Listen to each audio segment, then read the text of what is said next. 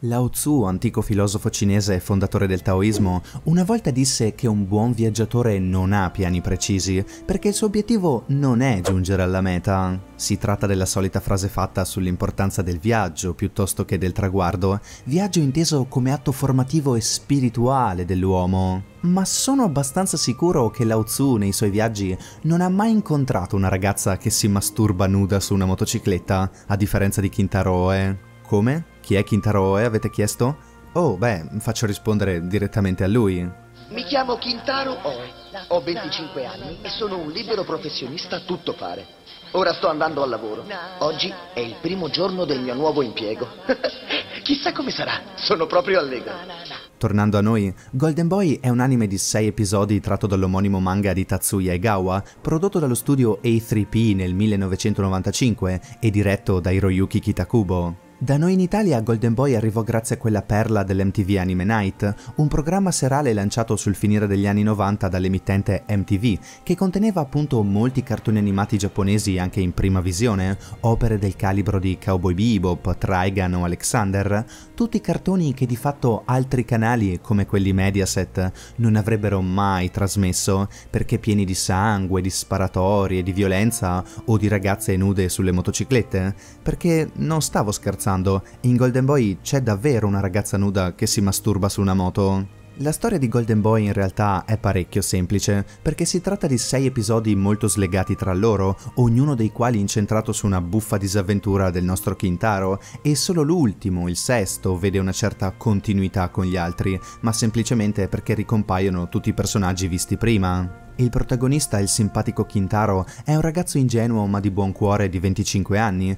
che si è ritirato dall'università perché ha capito che l'unica maestra di vita, banalmente, è la vita stessa. Così, zaino in spalla, è saltato sulla sua mountain bike fiammante e ha iniziato a pedalare per tutto il Giappone, in cerca di un lavoro, di soldi, di un futuro, di nuovi amori, ma soprattutto di nuove esperienze. E proprio mentre pedala spensierato sul ciglio della strada, ascoltando la musica dagli auricolari, viene investito da un'auto sportiva guidata da una donna bionda, bellissima e sexy, la presidente di una ditta di computer e di software informatici, la stessa ditta per la quale il ragazzo deve sostenere il colloquio di lavoro. Naturalmente Kintaro non sa nulla di computer, non avendone mai avuto uno, però con la sua determinazione, con il suo animo gentile e con il suo instancabile coraggio, il ragazzo si rivela un ottimo apprendista nonché un ottimo lavoratore, al punto da impressionare in bene addirittura la presidente stessa, donna tanto bella quanto anche cinica e pessimista. E da lì in poi per Kintaro non sarà altro che un susseguirsi di vicende ai limiti dell'assurdo, con donne più o meno giovani ma sempre affascinanti e sensuali, tra cui un'istruttrice di nuoto che ha vinto le Olimpiadi ma che prende troppo seriamente lo sport e la competizione, una ragazza indecisa sul suo futuro e facile preda degli approfittatori, e persino una giovane di buona famiglia che però nasconde una passione sfrenata e morbosa per le corse per i motori, al punto da, beh, essere molto intima con la sua moto, ma ormai l'ho già detto due volte, non fa più scalpore. Ogni episodio è costruito abilmente attorno alla stessa identica formula. Il protagonista pasticcione arriva, scopre una situazione tragicomica per non dire disperata e nonostante i mille disguidi fuori di testa, alla fine salva la baracca per poi sparire nella pallida luce di un sole al tramonto, senza che nessuno riesca a ringraziarlo come si deve per il suo operato, già pronto per una nuova ed emozionante avventura. Ma la cosa davvero sorprendente è che dietro a tutte queste situazioni demenziali e piene zeppe di equivoci ridicoli si nasconde sempre una seconda lettura,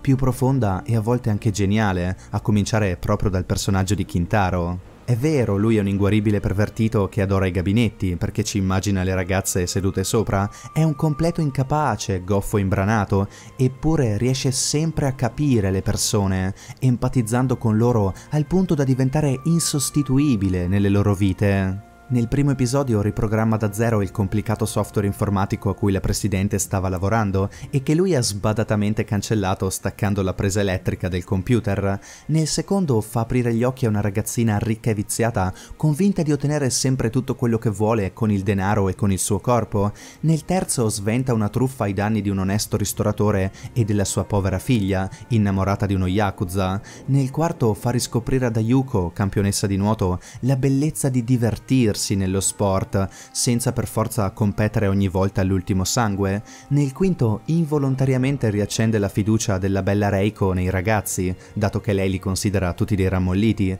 e nell'ultimo episodio, chicca meravigliosa, il giovane salva lo studio d'animazione per cui lavora come fattorino dalla bancarotta, completando all'ultimo secondo la produzione di un importante cartone animato, facendo ridere noi spettatori, ma al tempo stesso mettendoci di fronte alle problematiche che da sempre affliggono il mondo dell'animazione, problematiche che non si limitano solo a un budget ridotto e risicato, ma spaziano tra tempistiche disumane, personale pressoché assente, inesperienza dilagante e produttori mai mai contenti. E alla fine di quest'ultima puntata, la voce narrante che ogni volta ripeteva la stessa filastrocca, come quella che avete sentito all'inizio del video, cambia finalmente ritornello. Forse un domani sarà proprio lui, Kintaro, a salvare il mondo dell'animazione. O, perché no, magari il mondo intero. Senza dubbio si tratta di un anime indirizzato in primis a un pubblico maschile, essendo traboccante di signorine bellissime e poco vestite, ma secondo me questa cosa non deve essere vista né come un freno né come un difetto,